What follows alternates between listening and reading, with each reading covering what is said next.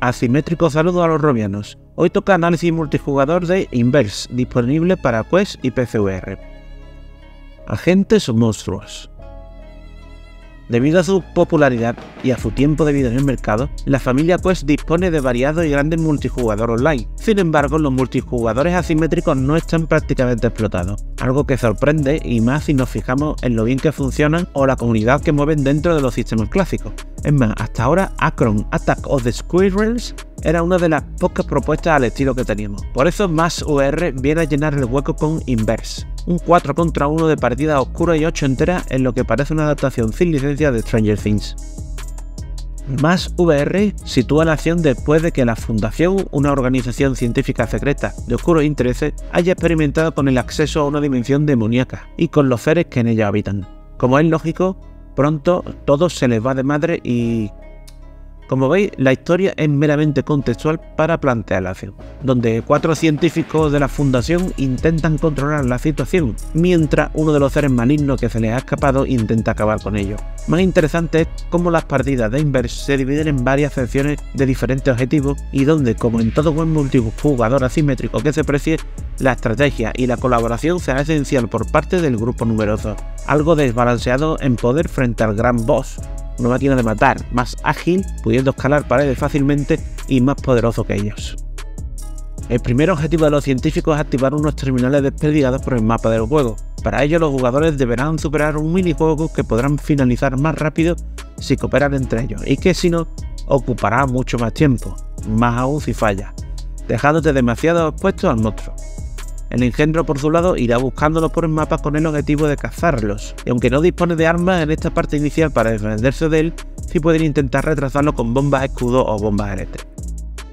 Gráficamente se puede decir que Mass VR ha cumplido su mayor parte. El juego presenta una buena definición y un rico nivel gráfico en su mayor parte. Es más, seguro que en secciones como la del portal o la dimensión oscura te, te va a apetecer pararte a disfrutar de la estética y el detalle de los escenarios. Los modelados de los monstruos es lo que más destaca Inverse, con diseños de cierto gusto estético. Los científicos son más sosetes y similares, cambiando de color para reconocerlos rápido y poco más. La música sigue en la línea mencionada y dispone de una buena selección de temas, además de unos estupendos efectos sonoros. Inverse de más VR es un buen multijugador asimétrico online y la falta de competencia le puede ayudar a destacar dentro del catálogo de MetaQuest. Su acabado gráfico y sonoro rayan un buen nivel y su ritmo de juego, con todos sus elementos funcionando, regala unas partidas divertidas a la par que terroríficas. Puede que le falte algo de pulido o contenido y que necesite fomentar su comunidad, pero desde luego es una propuesta con buenas bases para labrarse un nombre.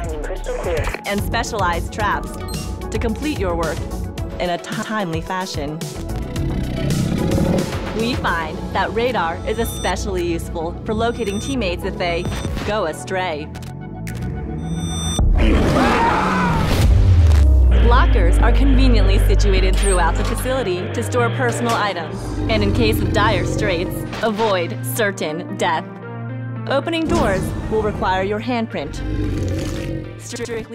En definitiva, muy buen juego. Como positivo destacamos su ambientación ochentera, el acabado audiovisual competente, el ser uno de los pocos multijugadores asimétricos de Quest y el crossplay con PCVR. Y por la parte negativa o menos positiva, faltan mapas y modos de juego, y de momento parece que tiene poca comunidad alrededor.